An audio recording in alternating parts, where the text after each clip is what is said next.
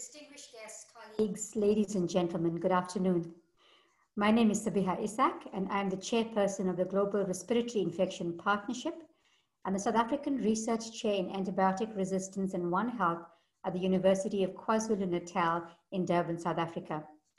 Welcome to this regional workshop to develop the Western Pacific Roadmap for AMR action by pharmacy. I'm honored to share this platform with John Bell and Leonila Ocampo.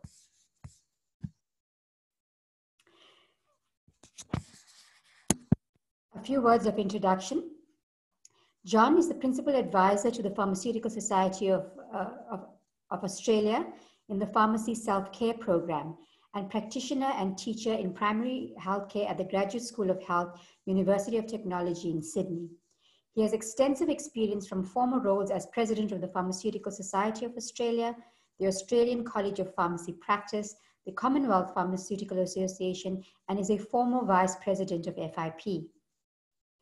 Leonila Ocampo is a pharmacist who has experience in the many different areas of pharmacy practice, such as patient care settings, academia, research, regulation, and policy, as well as public health administration and management. She is currently a member of the executive board of the Western Pacific Pharmaceutical Forum, a member of the executive committee of the FIP community pharmacy sector, and president of the Asia Pacific Institute for Medication Management. I will begin with an overview of the workshop objectives. This is the agenda for today. John and Leonila will then facilitate an interactive session to develop the Western Pacific Roadmap for AMR action by pharmacy and I will end the workshop with an overview of the next steps. this regional workshop builds on the global session we held on September 12th last Saturday, the recording of which is available on the FIP website together with other webcasts and videos. And just to note that today's recording will also be available uh, on the FIP website for those that have missed this session. The objective of the regional workshop is to work together to drive regional initiatives in AMR by translating policy into action. During this workshop, we will co-develop and make a commitment to a regional roadmap for AMR success in pharmacy. GRIP is honored to partner with the International Pharmacy Federation to drive AMR action in a new decade by pharmacy. So let's answer the question, why pharmacists? To answer this, I want to draw on the pentagonal framework of the Global Respiratory Infection Partnership. This workshop speaks to the role of pharmacy, policy, prescribers, of, uh, and patients on the prevention of antimicrobial resistance. So let us go through each one of these five Ps. The first is policy where we will, uh, uh, which, which is policy endorsed by local governments and clinical communities of practice that advance antibiotic stewardship and conservation. The second is patient empowerment and education about the appropriate antibiotic use and asymptomatic treatment. The third is pharmacy, guidance on the stewardship role of, as educators, providing patients with advice and support on infection management and when to consult a doctor. The fourth relates to prescriber guidance on antibiotic stewardship and effective dialogue with patients. And the final one is prevention of resistance by the rational use of antibiotics.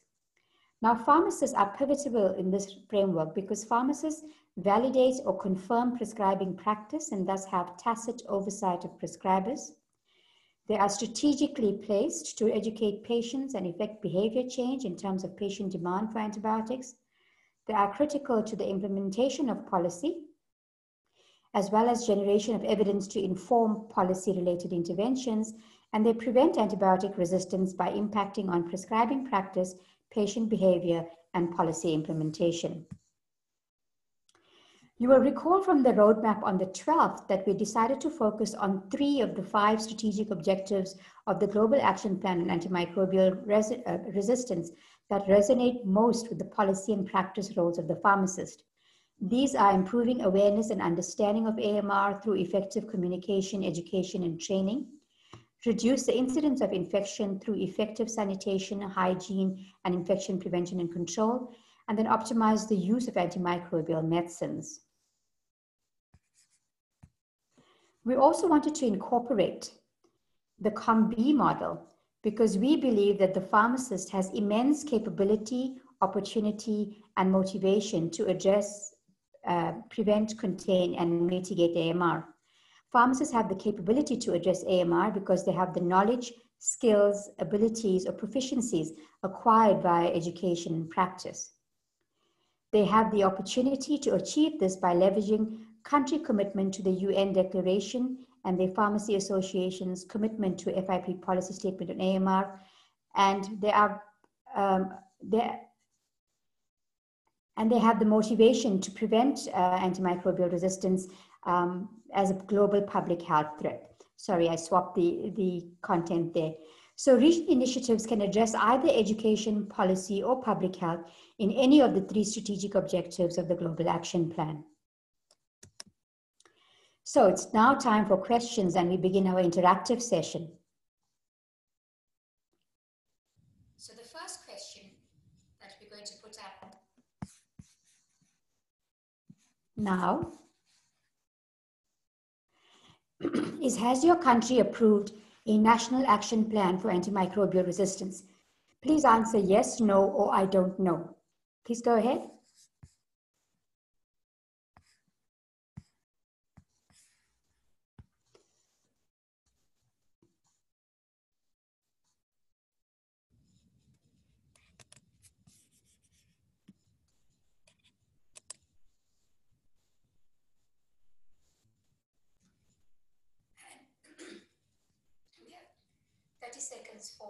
Answers and the results should be coming up anytime now. So, in the Western Pacific region, 69% of the participants answered yes, 3% answered no, and 28% answered that they didn't know. Let's get on to the next question.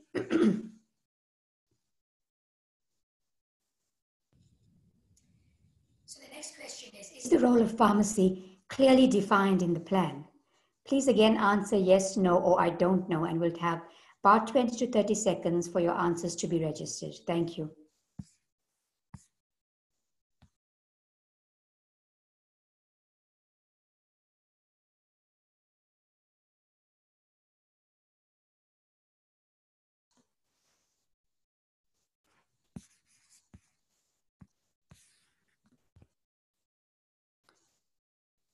and 74% of you, many more than said that you knew that you had an action plan, said that the pharmacy role is clearly defined in the plan. 9% said no, and 17% said I don't know. So thank you very much for that. We will re reanalyze all of these results um, after, the, after the session. Thank you very much. So on to the next slide. We want to populate the slide with as many initiatives as possible after which we will determine timeframes and, and responsible entities. I will now hand, and please, I'd like you to remember that the three strategic objectives we are speaking to are awareness and education, uh, infection prevention and control, and the proper use of antimicrobial medicines. And each one of these initiatives could take the form of education, policy, or public health initiatives. It is now my pleasure to hand over to Leona and, and John. Thank you very much, Sabiha. Um, well, I, I, was really encouraged by those uh, the answers to the questions that uh, Sabiha's already posed. Uh, that the vast majority of us in the uh, in the Western Pacific region, which is 37 countries, um, a quarter of the world's population, uh, are in our our particular region, and uh, I might say of those countries, 12 are associated with um, the Western Pacific uh, Pharmacy Forum, which is affiliated with FIP. So we need more of you to be in WPPF as well. But anyway, the, these, these survey insights, you, you would have realised, of course, I think most of you, I hope, I hope all of you would have responded to that survey. And these insights you see here are as a result of that survey. These are the global insights. Um, and Leonie is going to take you through some of the specific um, regional insights in a minute or so. I'm, but sorry, I'm, I'm, so sorry to interrupt, John, but we can't hear you. You seem to have a connectivity issue. Uh, I've just got a message on the chat to say we can't hear John. Okay. Um, can you hear me now? I can hear you, John. Please continue. I can hear you. Okay, we're yeah. good. We're good. We're good. Thank you. Go ahead. Okay, okay, that's good. So uh, to identify these insights, which are the, the, the global insights, um, uh, in, so insofar as barriers were concerned, there were five specific barriers, and these are they. Education and training, it was seen as though um, the education was not sufficiently robust or significant in terms of uh, teaching about antimicrobial resistance uh, and stewardship. There were inadequate financial resources and support from organisations and institutions. Um, and there was no recognition or little collaboration um, amongst various groups in, in I guess, meeting uh, the action plan in terms of antimicrobial resistance. Um, there were a couple of others, and we'll just go on to those as well. Um, again, these are the global uh, barriers that were identified, uh, that accountability and leadership apparently was lacking. Um, how, how that would, uh, I, I, guess, relate to your specific country or our region, we'll talk about in a little while. But regulation and surveillance was also something which was identified as a barrier. Uh, so not, not as significant or as sufficient surveillance about the regulations, not sufficient regulations, and not enforced as well as they should have been. So Leonie, you might like to take us through some of the specific examples that we got back from our region. Okay. Thank you very much, John. Uh, good morning, good noon, good afternoon, and good evening, everyone. Okay, so uh, to continue sharing the, the survey insights, we have one in the Philippines that says there is lack of knowledge when it comes to choosing the best antibiotic, and this is a barrier. Revenue margins are decreasing, and many high-level initiatives are competing for the increasingly scarce amount of money. Prescribing practices have to change. And Singapore said there are no local studies being conducted or published in Singapore. Another insight from the Philippines says social awareness, more lectures so that people would understand the use of antibiotics, and a campaign should be done as well. So there's a clamor of uh, improving awareness and educating our users of antibiotics. And uh, Australia, on the other hand, says we need to fund pharmacists for the AMR related interventions, counseling, deprescribing, suggesting alternatives to antibiotics. So we have a lot more uh, taken from uh, uh, more insights that uh, we saw in the survey, but these are just some that we are sharing to you and on to the next slide. Okay. On to the next slide. slide. This slide shares to us the consolidation of some examples, example initiatives relative to the three strategic objectives that were lifted from the five strategic object objectives of the Global Action Plan. Three being those objectives that are most relevant to pharmacy. So on improving awareness and understanding of antimicrobial resistance through effective communication, education, and training, these are some of the example initiatives that we have gathered. To establish formal antimicrobial stewardship training and an undergraduate at, uh, at the undergraduate level in all pharmacy schools. Another one is to have a regular and up-to-date postgraduate education in antimicrobial resistance to be offered by the professional organizations. And third, under that objective is to access to resource materials to enable trained community pharmacy staff to communicate AMR messages to patients and to health consumers. On the objective of improving uh, or of reducing the incidence of infection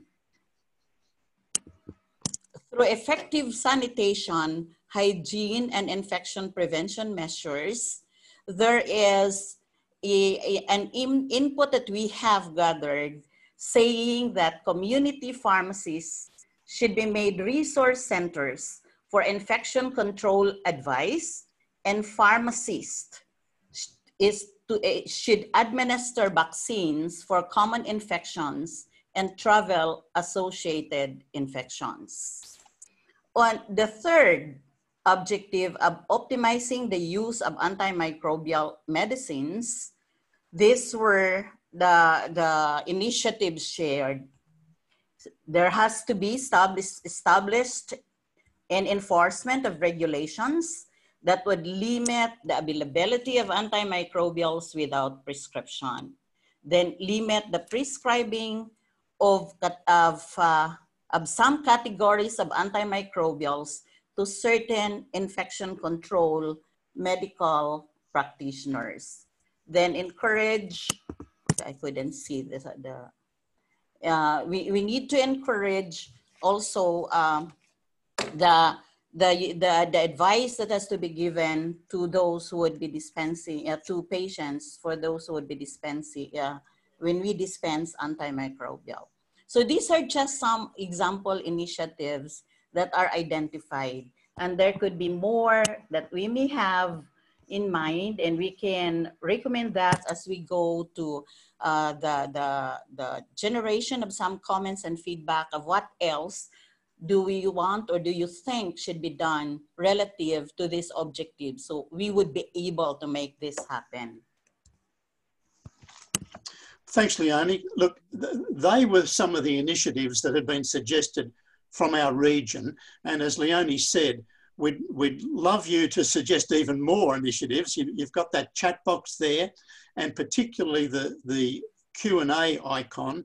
If, uh, if you would like to ask some questions as we go along, we'd, we'd do our very best to answer those during the time allocated, but if we can't do it in the time, we'll certainly get back to you, all of you, uh, with answers to your questions.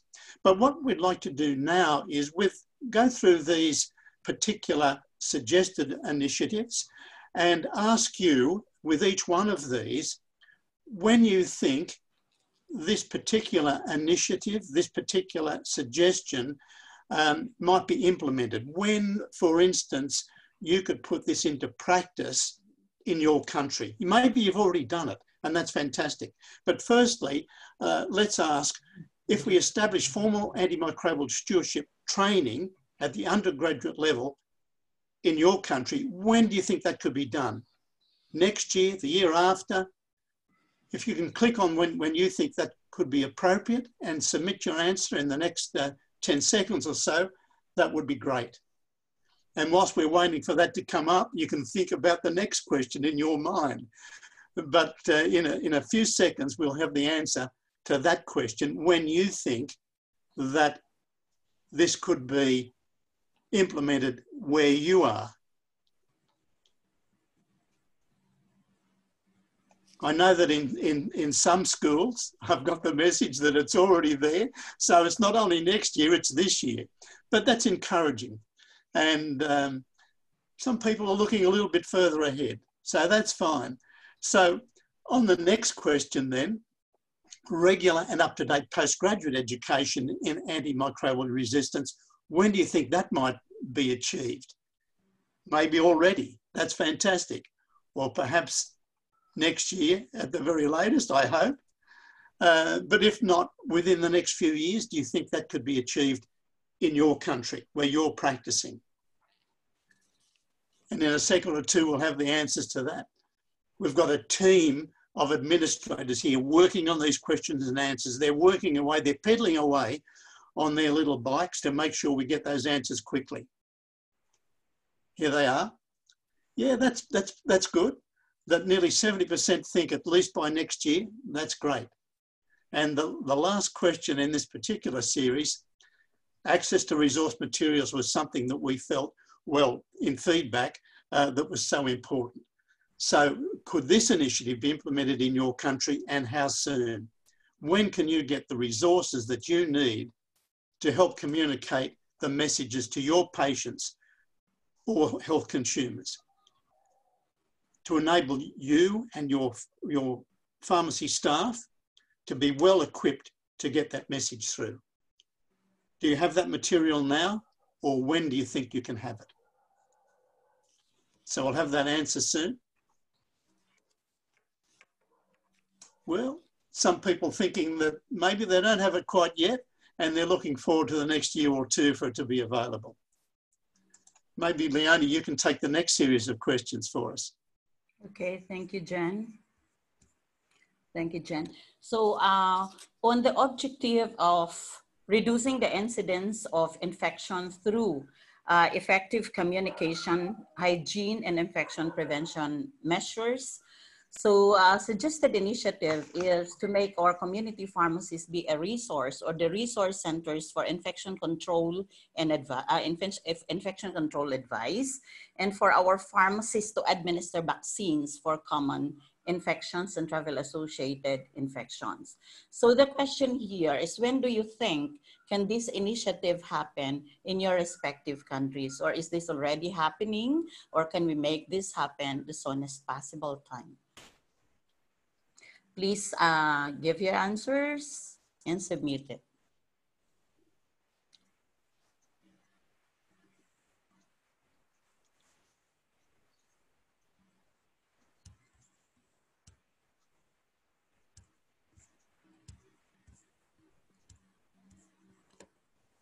Okay, wow. So we have many who would be able to do it in 2021. So that's just next year and some in 2022. So this is very encouraging. So this could be one very good timeline for all of us to make this happen. We know from pronouncement of FIP that we already have 36 countries who the pharmacists are into vaccination already. Now, in these countries where we have the regulation, the policies are in place, we will try to maximize, especially those countries in the Western Pacific region, maximize all pharmacies to offer these services to our patients and our clients. And for countries where these are not yet happening or not available yet. And there's still a struggle on how we could convince government to support pharmacists to do uh, vaccination. Then we can very well share our experiences those who have uh, already uh, this in place, then maybe share best practices and support and help our uh, fellow pharmacists in those uh, countries. So uh, this is, I would say, pharmacists definitely is in a very good position to uh, expand vaccination to the community. We are scattered and are accessible, very readily accessible to the public. So we have to work that uh, this will happen. Uh, we know we can do it. FIP can do it. WPR countries can do it, and we pharmacists definitely can do it. Yes, Leonie, I think you're right there. I think collaboration uh, within our countries with, with other health uh, care professions, of course, but also internationally. And I think FIP and indeed GRIP can take a really a leading role in, in this uh, international collaboration. We can learn from each other. We've got a couple of another um, couple of other initiatives here uh, that we'd like you to consider. Um, firstly, to establish and enforce the regulations that maybe limit the availability of antimicrobials. How soon can that be done where you are in your country? Uh, maybe it's done already sufficiently. Uh, if not, do you think that's something that, that you individually or the organisation that you represent um, your national organisation can argue or advocate to government, um, to the regulators that this could be done. Uh, I think it's absolutely essential. And I know some countries have that. Um, but again, that's something that I think uh, international bodies like uh, FIP, like CPA, that uh, the Commonwealth Pharmacists Association, uh, Sabiha mentioned earlier, those international organisation, organisations can work with your national organisation to make this happen. Mm -hmm. So let's see uh, what the answer is to that question. Yeah, that's encouraging. That's really, really encouraging.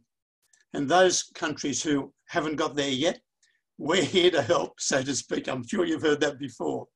But how about limiting the prescribing of some categories of antimicrobials to certain infection control medical professionals? Is, is that something that you believe could be undertaken? Um, do you feel that's important? And if so, when could that be implemented in your country? Uh, it's something we, we do in Australia. There's some limit to uh, what uh, categories of medications can be prescribed, that is antimicrobial medications, and by whom they can be prescribed, under what circumstances, and to which uh, infections. So is that something that more widely would be appropriate in your country? If so, when do you think that can be implemented? And we've got the answers coming up pretty soon. Again, that's, I think, a, a, very encouraging sign that people think that that's something that, that could be implemented and, and put in place. I think this is really important.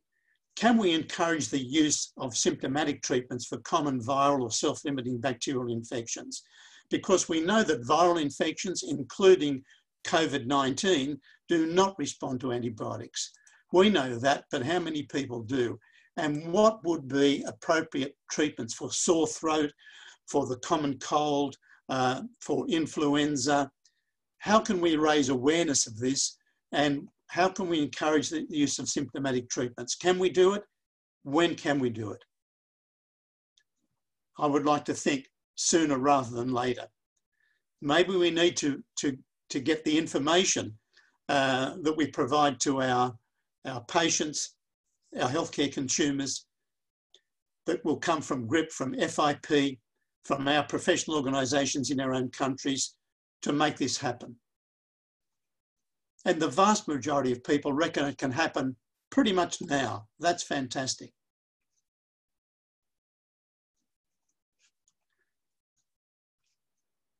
Leonie, I might let you take the next uh, well, we're looking for your feedback. We want you to, to let us know through the, the chat room and the uh, and the, the Q&A link. We haven't had any questions yet that I can see, but maybe we have. But look, in, in summary, maybe I can just summarize first and then uh, Leonie, you might like to do that too. Um, these are some of the initiatives that, that we've seen that have been suggested in our region, the Western Pacific region, the 37 countries that we represent, that we could establish formal antimicrobial stewardship training at the undergraduate level, regular up-to-date postgraduate education, access resource materials. I think that the, the resource materials nicely fits in with that last line there, encourage the use of symptomatic treatment. I think that's really, really important and they, they, they fit hand in glove there. Um, we need to establish and enforce regulations and maybe we need to limit the prescribing of some categories of antimicrobials to certain infection control medical professionals or to certain conditions. Um, now you might have some other initiatives. Leonie, do you want to add to that?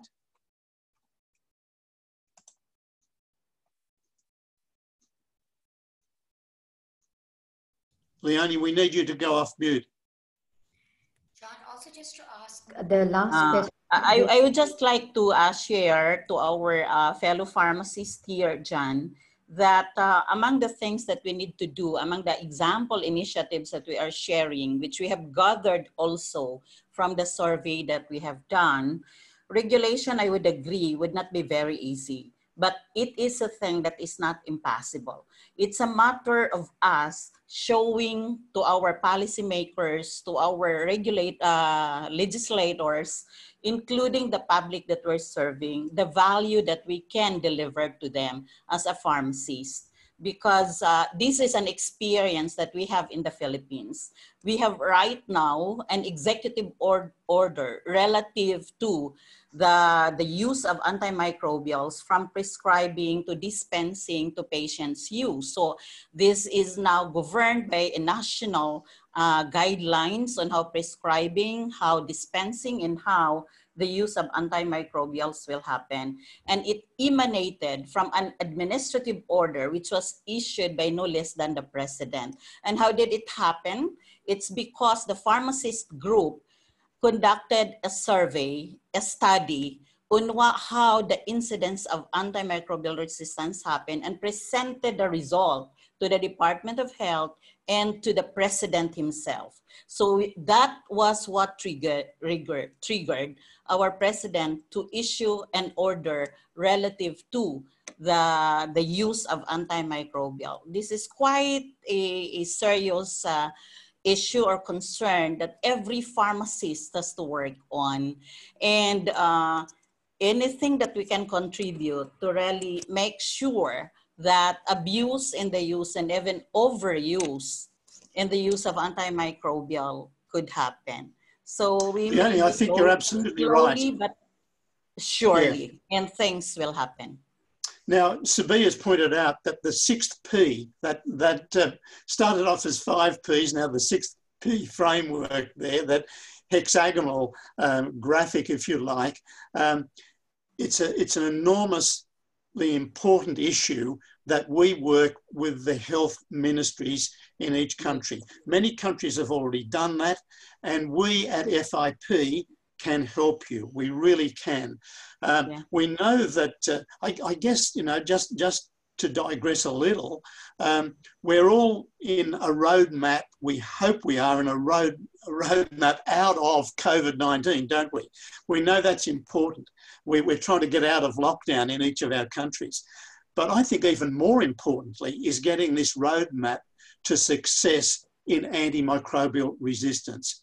Statistics would indicate that within 30 years, we, we will have 10 million deaths annually from the misuse, inappropriate use, or, or the resistance associated with antibiotics. That's an enormous problem. We know that. So these initiatives that we've outlined tonight, and we want you to, to uh, suggest some others as well. We want you to get into that Q&A box and ask us some questions. We've got some time to, to answer them as best we can. But let's try and address the roadmap for antimicrobial resistance success in the Western Pacific region. We can learn from each other's countries. And we at the national and the organisational um, international organizational level can help as well. So okay. we want those questions to come in and suggestions. yes. Yes, John. Just to reiterate, we are we are uh, really expecting some more uh, recommendations to initiatives that could be done, and just write it in the chat box, and we will take a look. Uh, we will definitely be having that and, and take a look at it. If you haven't already seen it, FIP, of course, has a statement on the pharmacist role in antimicrobial stewardship. So have a look at that. But if you want resource materials to help you in your practice, whether it's in hospital or community practice in pharmacy, uh, there are some fantastic resource materials on the GRIP web website. That's www.grip-initiative.org have a look at that and I think you'll find some great materials there. So together, FIP and GRIP can offer you the resource materials to help you in your practice. Yes, I agree. I agree. There are many that you can find in the website. So, so thank you very much, uh, Leonie and John. I'm going to ask that you ask the last, very last question on the poll to ask which would be the most important, uh, the top three initiatives that we would like to implement in the near near future. So if you would ask that, and then I've got a number of questions that I have can pose to you that I've been looking at in the chat as well as in the Q&A. Okay.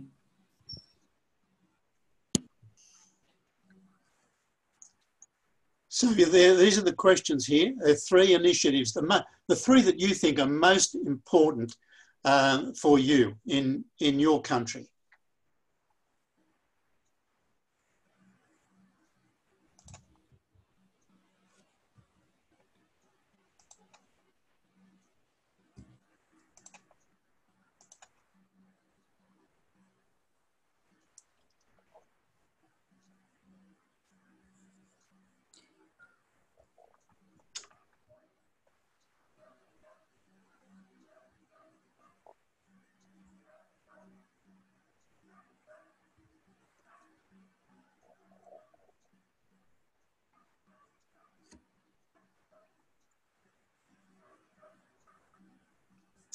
So we'll have that. Uh, we'll have those answers in a in a little while. It's a little bit more complicated than previously, but I'm sure you'll you'll manage it. Those those th the top three that that uh, that you think are relevant.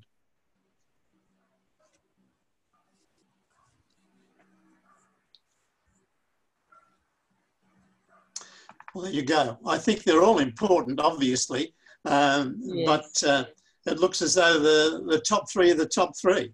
Um, and that's interesting. Yes. Sabiha, I think it's back to you.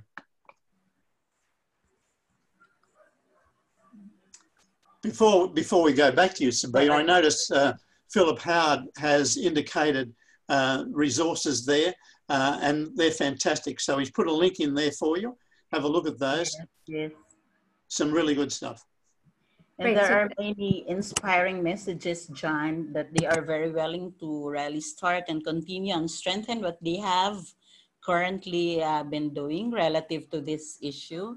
And of course, I also would agree with this comment that I, I saw in the chat box that we need to, uh, to involve the public so that uh, they would really understand how antimicrobials are in terms of its proper usage and what precaution to to uh, to uh, be into. So uh, again, uh, experiences that we have really involve the patient groups and the and the public so that there would be very good reception for the users when we already lay down certain uh, policies relative to the use of antimicrobials. Sabiha, just before you, you take it back from us, I just wanted to identify something that's come up in the uh, chat box there. Um, Pre-winter campaigns.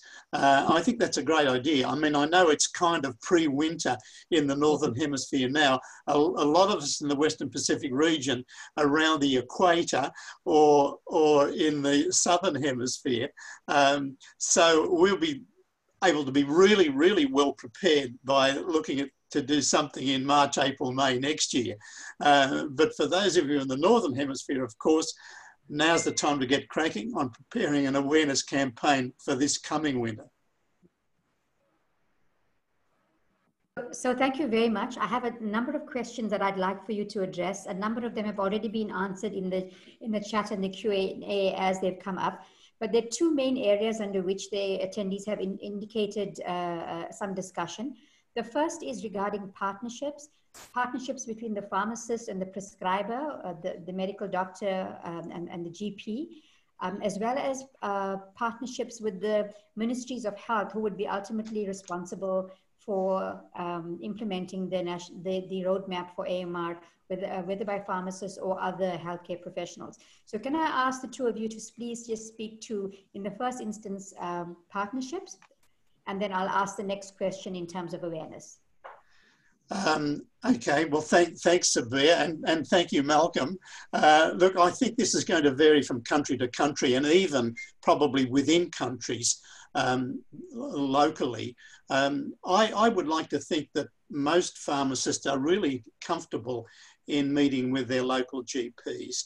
Um, and, and this is an issue that, of course, affects both professions, um, doctors and pharmacists. And I think together um, we can really make a big difference. I, I think because it's a topical issue uh, and something uh, that uh, may be even more topical in this environment of uh, a, a new viral infection that's affecting the whole of the world, I think it's a great opportunity for pharmacists to knock on the door of the local GP and say, uh, hey, Mr. Or, or Ms. GP, um, can we have a chat sometime about how you and I address antimicrobial stewardship? I think it's a great opportunity. And I, and I, I would like to think, I'm sure in our local area we can do it easily. And I, I think most pharmacists could do that. What do you think, Leonie? Yeah. Uh, how, difficult is it in the Philippines? Thank you, Jan. Thank you, Jan Sabiha. Yes, partnership is very important because we cannot do this alone. This would require a collaborative effort from everyone who is involved in the management of the antimicrobial uh, use from prescribing to dispensing, even from manufacturing. So it is very important. And the partnership that we need to establish with the government is to have a local support up to the grassroots level because the execution will have to be done in the ground. And if we have the support, of the government as a partner, then it would be a little bit easier for us uh, to do it. So it's very important. And uh, to our uh, fellow health professionals like the doctors, yes, uh, as John was saying, you can share what you have experienced in the Philippines. It's not easy at the start and even now, but we are slowly coming up with very good partnership programs with our different medical groups, including the infectious disease uh, practitioners. So uh, it, it, the, these are things that were seen to be difficult to, to be addressed in the past, but with, uh, with the kind of, of uh, aura the pharmacist is, or with the kind of person how pharmacist would communicate, how uh, she would be able to really establish a very good uh, discussion or communication to forge partnership with any group, I think this can happen. As I've mentioned, if others can, why couldn't pharmacists can? We can do that. We can do it. The uh... next question. Sorry, I'm in, in the interest of time, John. I'm going to take the next question. The next okay. question is related to um, um, engagement of all aspects of society. So we spoke about uh, a top-down approach in terms of government uh, playing a role in addressing AMR, but there's also the bottom-up approach that needs to be taken and engaging with communities um, at, the, at the general public level, at the healthcare professional level, at the policymaker level, etc. So we've had a very interesting uh, example from the Philippines in the terms of Pharma roadshows, where uh, pharmacists are going to out to the population to in, in, inform and advise them on, on health issues. Um, there's also questions around public awareness campaigns.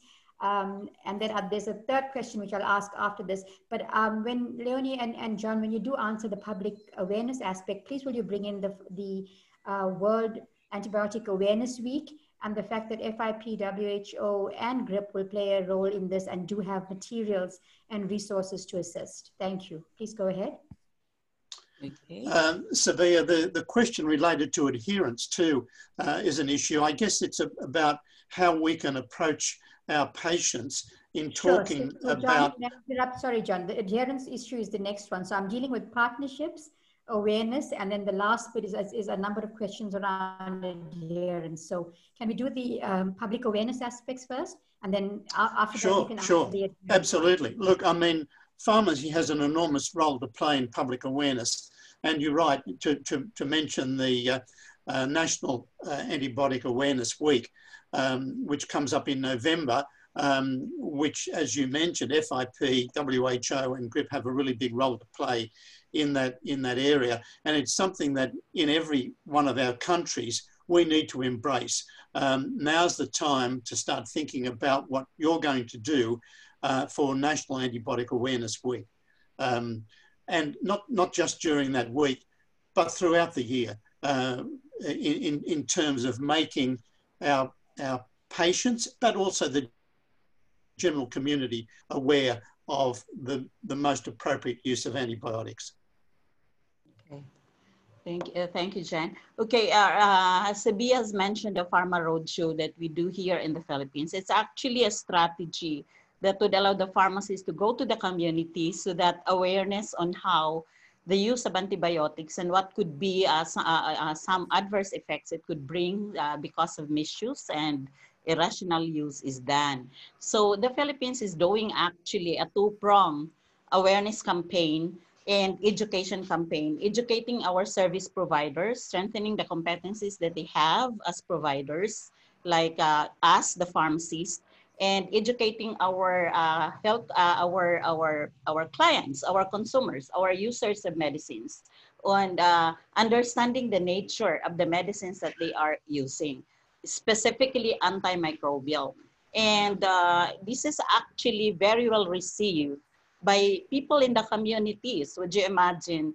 For a gathering that we call for mothers, mothers being the buyers of medicines in the family, you would find the fathers coming in and enjoying also the discussion who are bringing in or who put forth a lot of questions relative to use of antimicrobials. So it's very important because no matter how what we do as a policy, as, as a practice guideline or requirement at the service provider provider uh, level, if the service uh, recipients, our clients and our patients wouldn't understand that, it would be very, it would be more difficult on our end to push forward a certain project.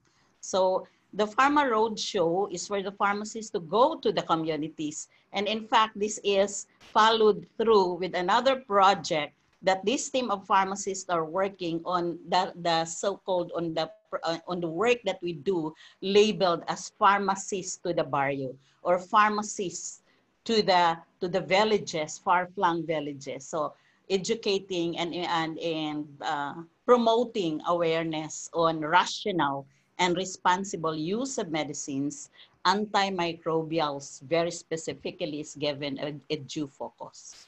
So thank you very much, uh, Leonie. I think in the chat we have lots of support for uh, working together in partnerships and also lots of support in terms of uh, um, our leadership role as an educator. Um, the one comment I'd like to pick up on is, is uh, from Jennifer Flores, who speaks about communication skills and the need to understand the health literacy levels of the different people that we speak to, and then adjusting the language such that they can understand what we're trying to communicate about the importance of AMR, using antimicrobials uh, carefully. Yes. Yes. I agree with Jenny. Jennifer is actually a former chair of, of our board of pharmacy. And thank you, Jenny, for uh, bringing forth that or uh, putting, forth, uh, put, uh, putting forth that question. Yes, it's very important. Like what we do, we have different dialects all over the country. We have to translate materials and we have to give the training in different dialects.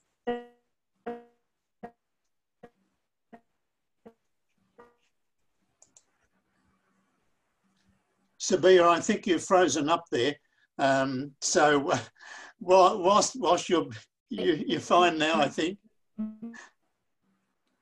Uh, whilst Sabiha's um, uh, kind of defrosting, um, can I say that uh, one, of, one of the areas um, that I think there was a question related to how we talk to our patients about the need for um, antibiotics or otherwise, or symptomatic treatment. I think it's a matter of when people come in, uh, often they, they seek our advice in community pharmacy as, as to whether they, they need an antibiotic. Sometimes they've been to the doctor and they've got an antibiotic, or they've got a repeat prescription for an antibiotic. I think it's important that we ask them you know, what kind of symptoms do you have? What are the most troublesome symptoms? We know that that in certain cases, um, um, the, the symptoms of a sore throat or a common cold or the flu, uh, they're self-limiting.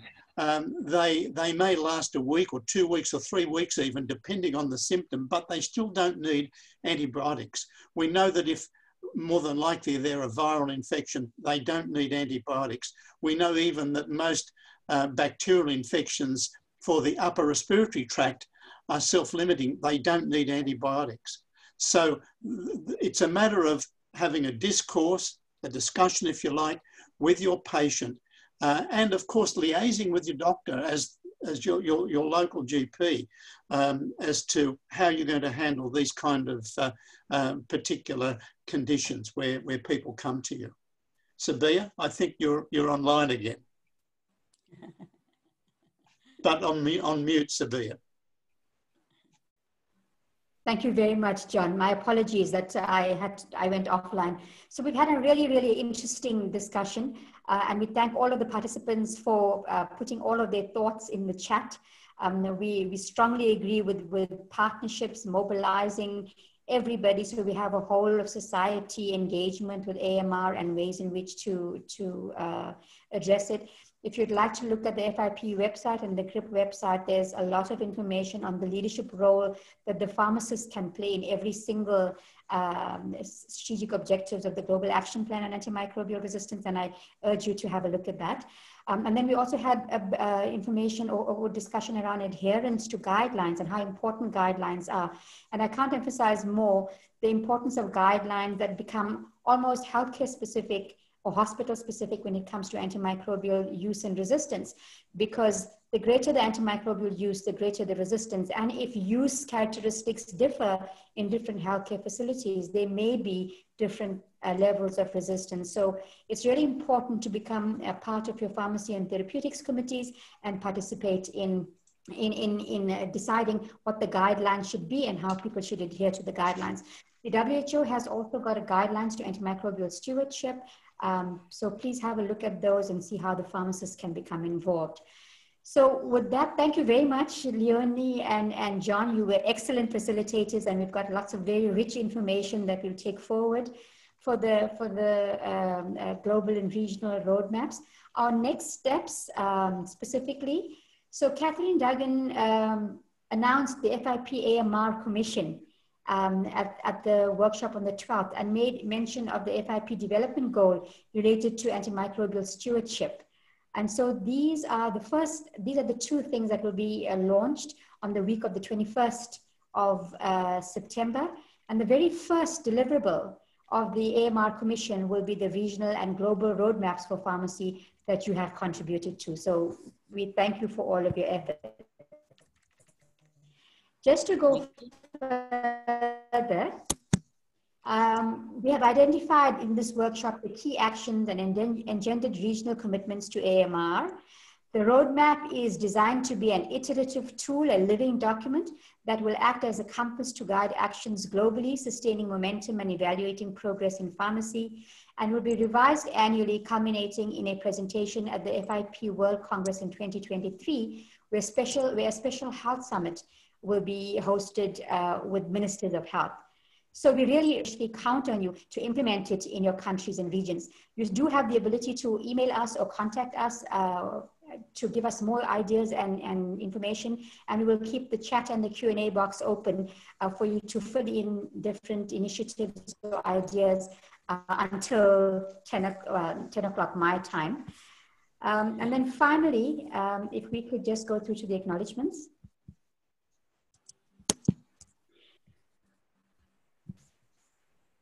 So in closing, I would like to acknowledge all of the people who made this possible. Catherine Duggan for the CEO FIP for advancing the antimicrobial resistance and the antimicrobial stewardship discourses in FIP.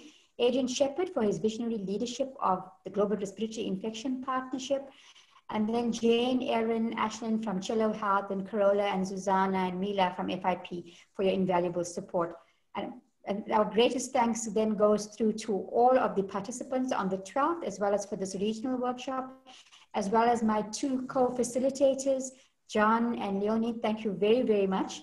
Um, have a great day further, and we really appreciate your inputs. Thank Thanks, everyone. And thank, thanks all for listening in and watching. Thank you, everyone. And thank you also. I'd like to acknowledge our president of the Western Pacific Pharmaceutical Forum, John Jackson, is here with us. So thank you so much. Thank you, Sabiha. Thank you. Thank you, everyone. Thank you, everyone. Goodbye. Bye-bye.